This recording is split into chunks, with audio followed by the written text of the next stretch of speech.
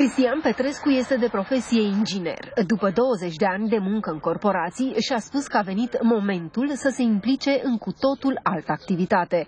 De 5 ani, școala din Rudeni, un sat care ține de Chitila, i-a devenit noul loc de muncă. De fapt, a doua casă. Iar motivația sa este cât se poate declară. La întoarcerea în țară, nu știu, am avut senzația că nu știu, toată lumea se văitea, că totul merge prost, nu este ideea de dezastru. Deci totdeauna trebuie să iei tu soarta în mâini și să faci ceva, nu să se întâmple imediat. Da, până la urmă, dacă îți dorești foarte mult, se va întâmpla.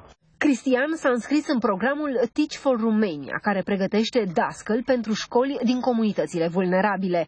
A ales să vină în Chitila cu 5 ani în urmă. Nu mai fusese niciodată aici.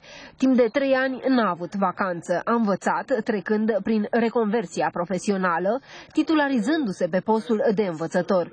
Directoarea unității școlare din orașul Chitila descrie contextul în care acest om a bătut la ușa instituției.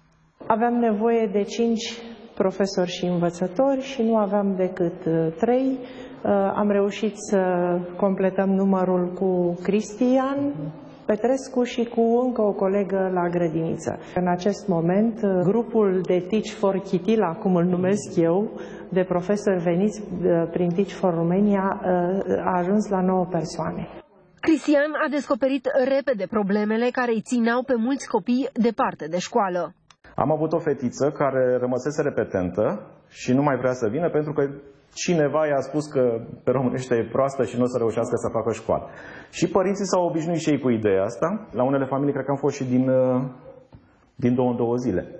Pentru că, nu știu, copilul, copilul nu venea la școală, copilul întârzia. Mi-au și zis, mie îmi place că noi ne jucăm aici, dar de fapt ei nu realizau că, uh, că învață. Cu copiii, cred că e mai bine să discuți într-o manieră matură, dar cu un pic de elemente de umor, dar umor care să-l ajute să proceseze, să-i dezvolte un pic gândirea critică. Domnul învățător ne prezintă colțul său de magie, mica bucătărie în care prepară în scop didactic prăjituri, chiar și torturi.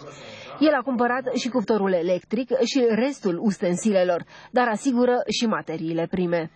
Asta e lumea în care noi ne simțim foarte bine, pentru că descoperim, experimentăm avem foarte multe elemente multisenzoriale, da? Deci noi mirosim, uh, gustăm, uh, atingem, uh, vedem cum se transformă în funcție de, nu știu, temperatură, în funcție de folosirea unui lichid sau unei alte substanțe, în funcție de anumite reacții chimice.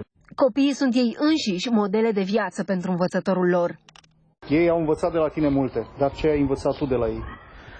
Că sunt mai puternici decât, uh, decât par. Regret că n-ai intrat mai devreme în învățământ.